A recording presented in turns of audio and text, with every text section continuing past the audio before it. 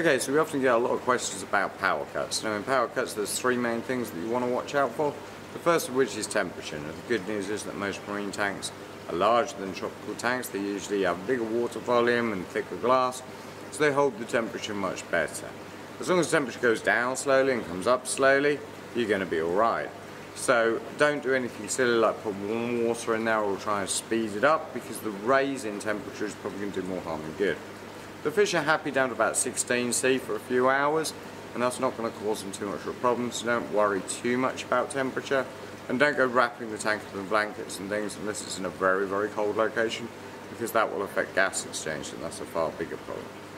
The second problem is ammonia and this is fairly easy to solve. The easiest way of doing it is either pour, pouring a small bottle of ATM colony in there if you've got one to hand or using polyfilter which will block, up any excess ammonia. There's lots of other products that do it as well but those are the two that I'd use and I'd recommend to always have you know a little little uh, pack of polyfilter on standby is always a good idea. Third big problem is gas exchange. Now as long as the surface of the water is very clear and clean then you're not going to have too much of a problem. However if you've got a little bit of surface film or if you field a lot of oily fish that you can form a, minute layer of, of, oil on the surface and stop gas exchange and that can be a very big problem indeed. A small battery powered air pump will clear it and keep it clear quite nicely so it's worth having one of those for an emergency if you do get any oily issues on the tank on a regular basis. Uh, failing that, just disturbing the surface gently with a whisk or something like that if you see an oil film will get around that problem.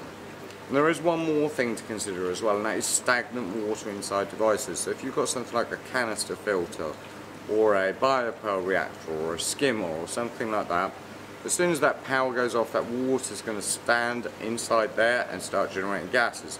Now, in a skimmer, that's not going to cause too much of a problem.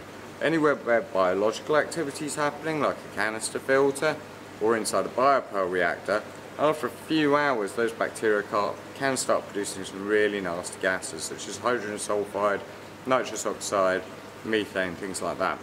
So, the ideal thing to do is before the when the power comes back on, is when the power goes off, sorry, unplug the device so it doesn't come on and start pumping toxic water into the tank.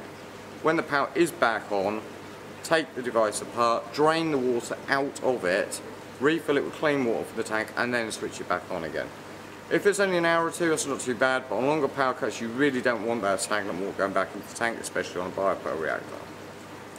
One more problem to watch out for in a power cut would be if you're carbon dosing. And if you are carbon dosing and the power goes out at a critical moment just after you put the dose in, you can have a very big problem because the carbon dosing can remove all the oxygen from the water and create massive levels of carbon dioxide and that can be a full wipe at that point. This is one of the reasons why we don't recommend carbon dosing for the vast majority of reef hobbyists. If you are carbon dosing, look at other viable alternatives such as sulfur-based denitrification through either our live bacteria revolution or a biopel reactor or some other method which is far safer and more controllable than it would be with carbon dosing.